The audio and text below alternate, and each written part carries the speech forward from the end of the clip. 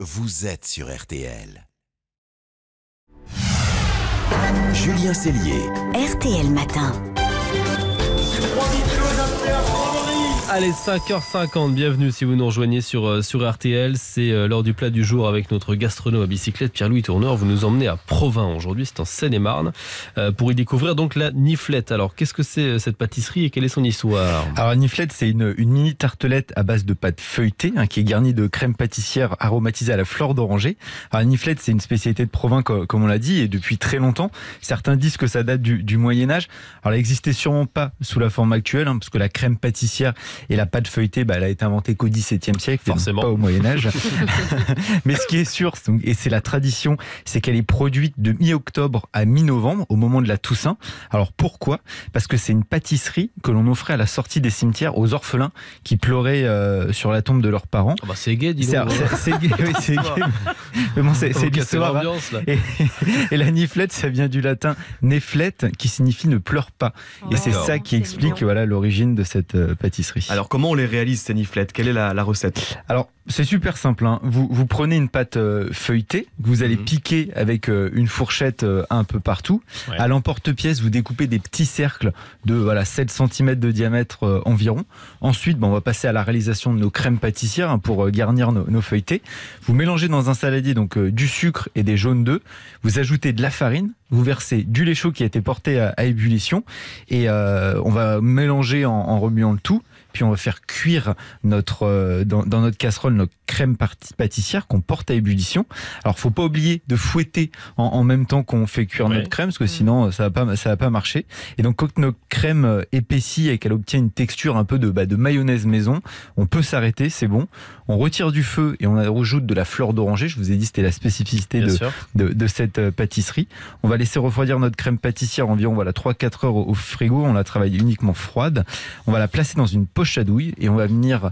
euh, alors on va pré- préparer notre pâte feuilletée. On va dorer le bord de la pâte feuilletée avec des, avec des jaunes d'œufs pour qu'il puisse briller à la, à la cuisson.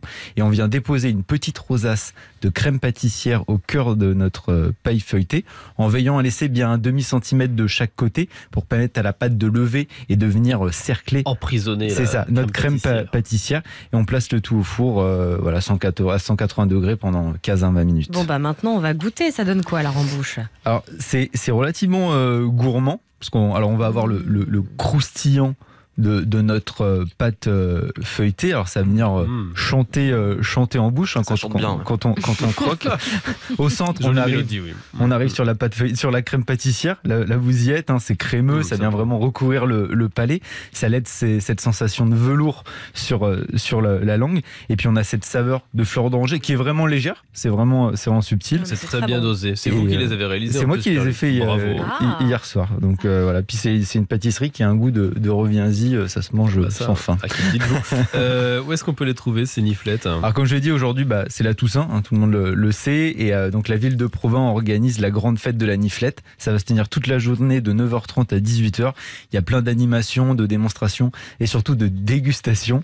Alors je vous invite vraiment à y aller pour y découvrir cette euh, jolie pâtisserie. Donc tous à Provins. Allez, on glisse la recette, toutes les infos sur cette fête de la niflette de province sur la page Facebook RTL Petit Matin et bien entendu sur votre site euh, Pierre-Louis, juste en un mot, Pierre-Louis, parce que je crois que vous le connaissez. On, on a eu euh, vendredi dans la France qui se lève tôt. Franck Colas. Franck Colas, voilà, un, un boulanger, un pâtissier absolument extraordinaire qui partait faire les championnats du monde de Pantone à Lugano en Suisse, alors que lui il vient du Loiret, donc c'est pas forcément la région du Pantone. Est-ce qu'il a gagné? Alors malheureusement non. Ah. Euh, les Italiens euh, Ont gagné ont, ont gagné, Oh, suivi, des, suivi des, des Suisses. Mais euh, bon, je vous les ai déposés sur la table parce qu'ils m'en ont envoyé gentiment euh, ce, ce week-end. Il est vraiment sympa, hein, ce Franck. là. moi, moi, je lui donne la médaille d'or euh, du cœur parce que il est vraiment euh, exceptionnel et je le remercie parce que ce matin au petit déj c'était euh, très agréable. Il est très très bon votre panettone, Non, mais Franck, hein, euh, franchement. comment ce Pantone n'a pas pu gagner Panettone Panettone. Panettone, ouais, ça va. Et- hein. C'est- Non, bravo, On est un chez vrai nous. parisien. En Bretagne, on dit Pantone. Hein. Ah oui, c'est ça. Alors, je sais pas vous, mais. Non, il est excellent en tout cas. Il est Bon, il est bon. délicieux et, et on l'embrasse Franck Colas s'il nous, euh, nous écoute. On a passé 10 minutes très sympas avec lui avant 5 heures euh, vendredi. Il nous racontait euh, comment il réalisait son Pantone, c'est vraiment, euh, c'est- un chimiste. hein. C'est absolument incroyable. Et, euh, et on l'embrasse et on espère qu'il est quand même ravi d'avoir pu participer à ce. Ce championnat du dans deux ans, il m'a promis. Et, il gagnera cette, cette fois-ci. fois-ci. Voilà. Il ramènera la coupe à la maison. Merci beaucoup, Pierre-Louis. À demain. À demain. Bonne matinée en compagnie d'RTL. On a tellement de choses à se dire.